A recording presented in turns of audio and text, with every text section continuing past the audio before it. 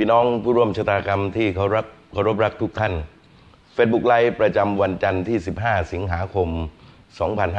2559 ในวันนี้ ผมจะพูดในหัวข้อที่ว่าที่ใดมีการกดขี่ที่นั่นย่อมมีการต่อสู้ ถ้าไม่หยุดระบอบการปกครอง แบบใส่ร้ายทำลายผู้ถูกปกครอง เราต้องยอมรับความเป็นจริงว่า การยึดอำนาจเมื่อ 22 พฤษภาคม 2557 นั้น เป้าหมายหลัก และก็เป็นเหตุผลของการหยิบยกเข้ามาใช้ในการยึดอำนาจ คือบอกว่าคนไทยแตกแยกกัน ถ้าคอสชไม่มาคนไทยต้องฆ่ากัน คอสชนั้น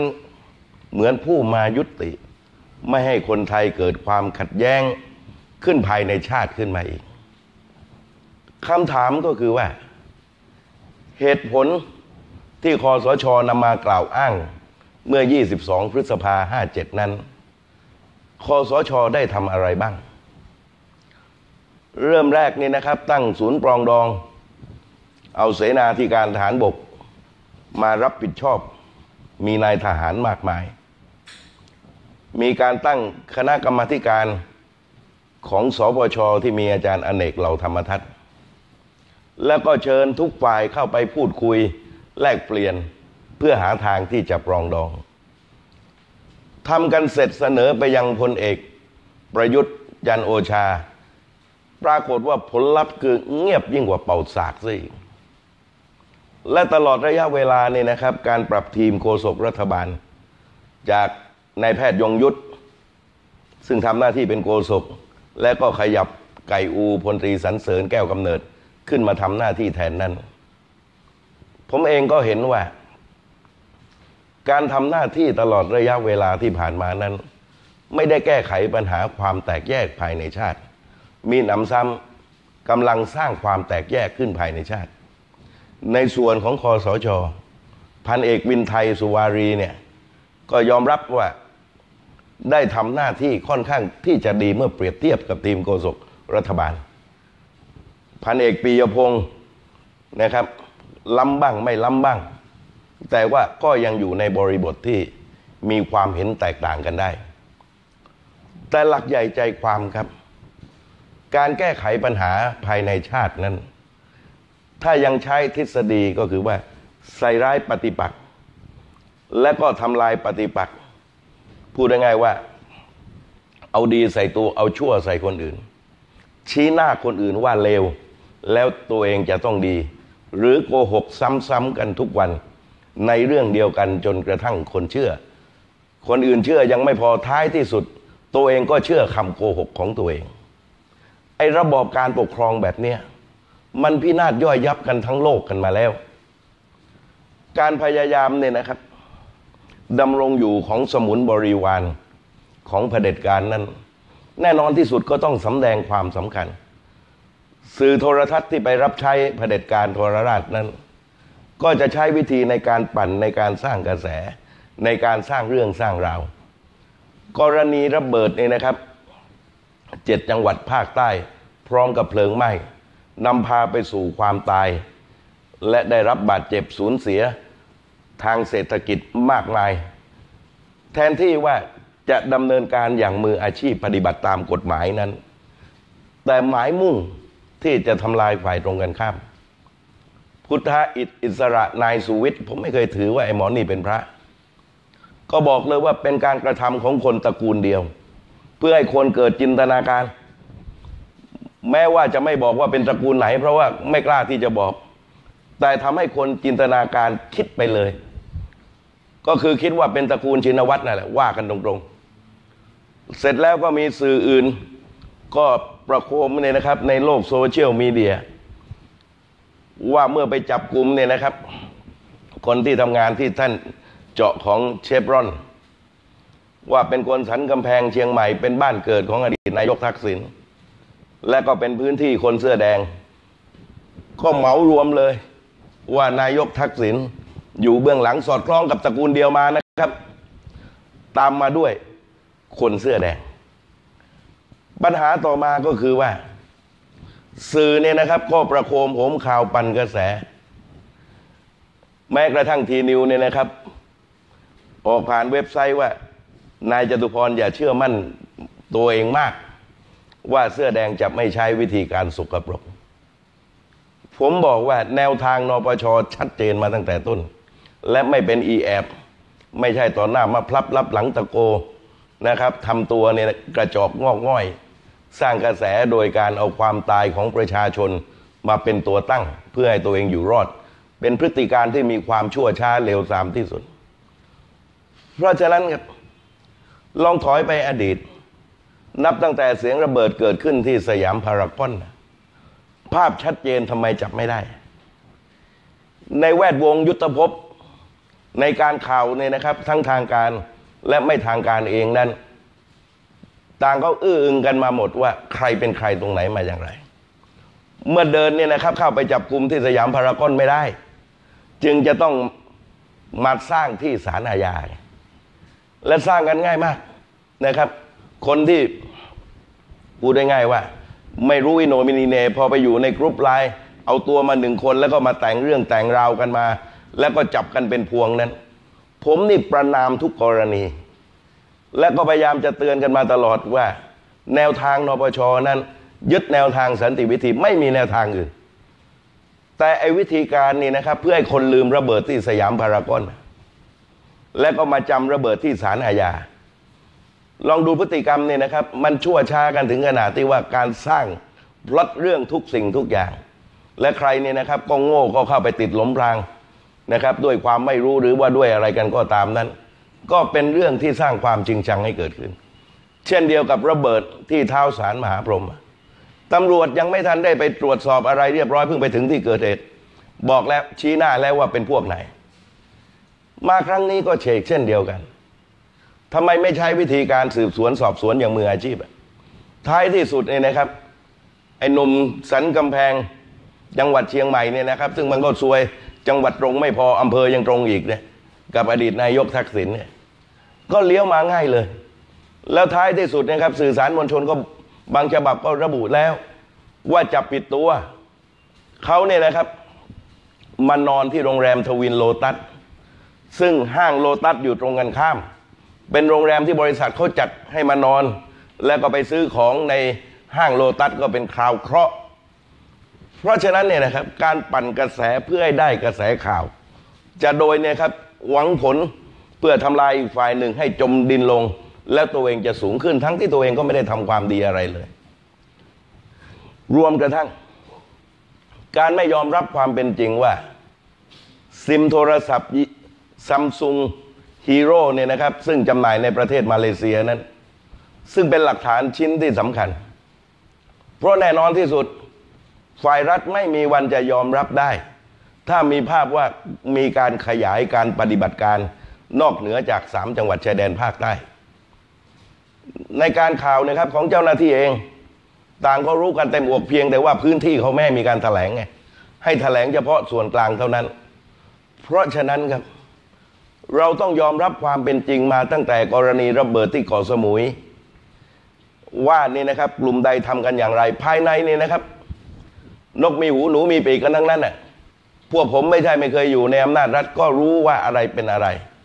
เพียงแต่ว่าการสร้างกระแสให้เกิดความจริงจัง ทีนี้ถามว่าทำไม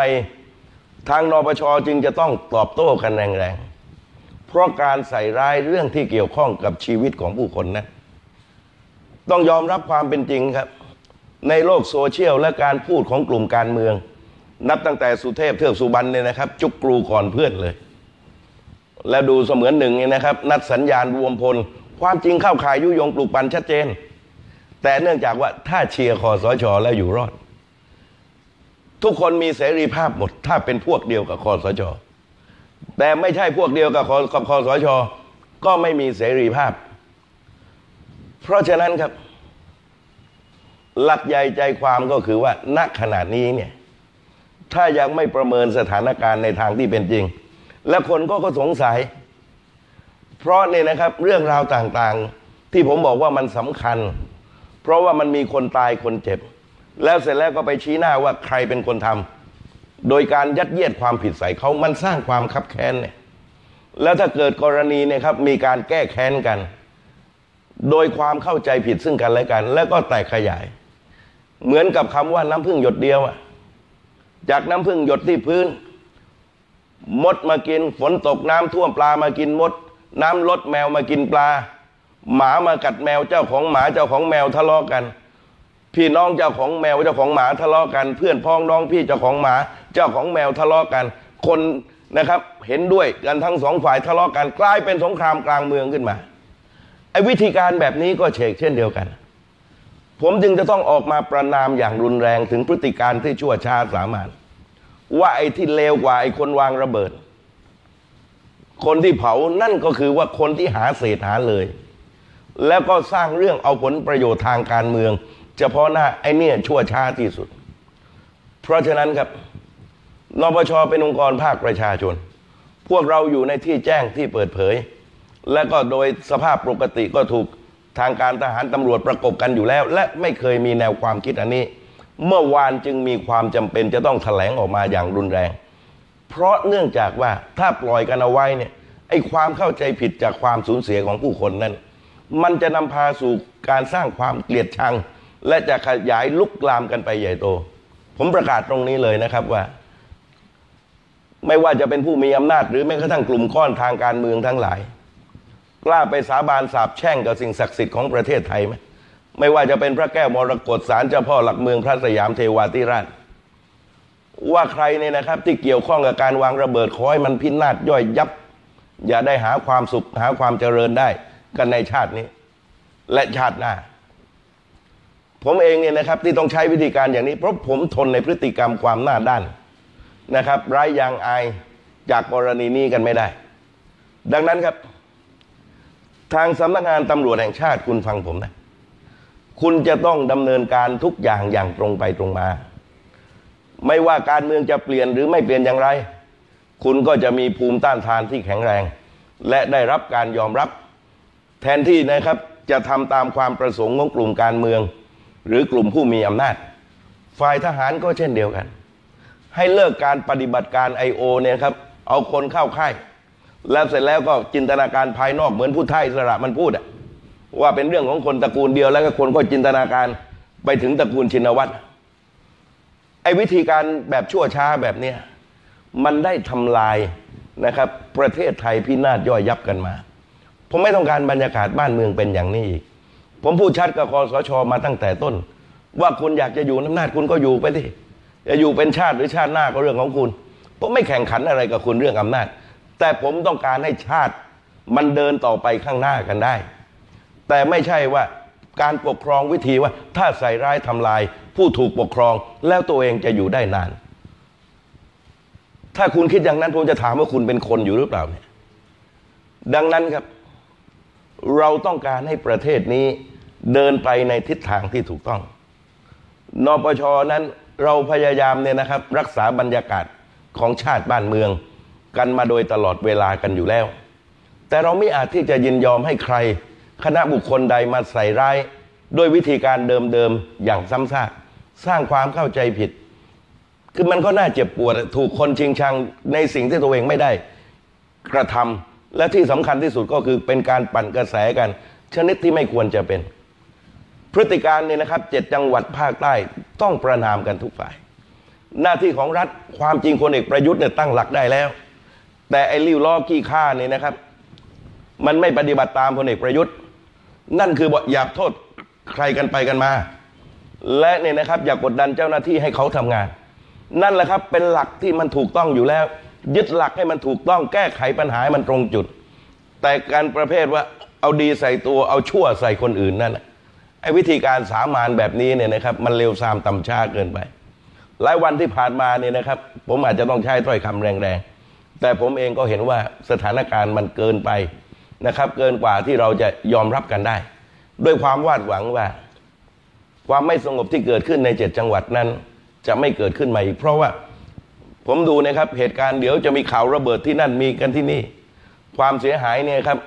แบบอนุสรณ์ธรรมใจพูดก็เกินสามหมื่นกว่าล้านไปแล้ว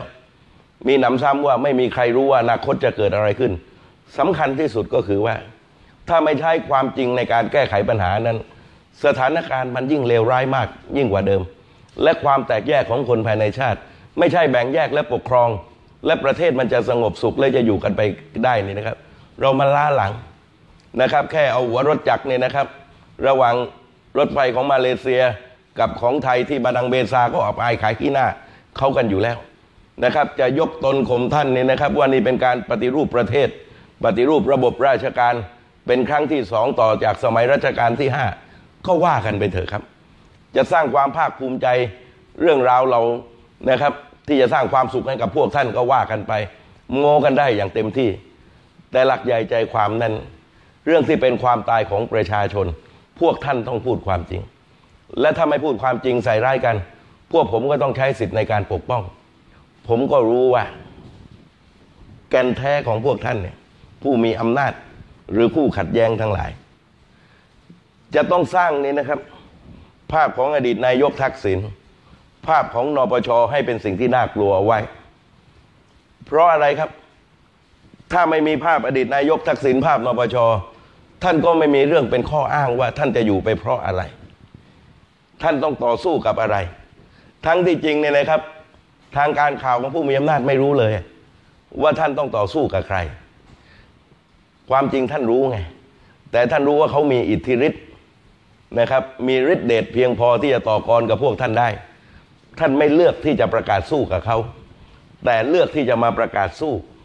กับอดีตนายกทักษิณซึ่งอยู่ต่างประเทศ ใช้ชีวิตทำธุรกิจเดินทางเป็นหลัก ไม่ได้เกี่ยวข้องอะไรกันแล้ว และพวกผมท่านก็รู้ว่าแนวทางสันติวิธี ไม่มีจุดใดเนี่ยนะครับ ที่ใดสื่อมวลชนเวลาพวกท่าน จะเข้ามาเนี่ยนะครับ ก็เห็นกันทั้งหมดอยู่แล้ว ว่ามันไม่ใช้เป็นเครื่องมือกันมาโดยตลอดอยู่แล้ว พวกท่านก็มีหน้าที่ทำลายทำลายเนี่ยนะครับ ก็แบบทำลายแบบเนี้ยทำลายแบบให้ดำรงอยู่ เอาไว้สำหรับยกมาเป็นคู่กรณี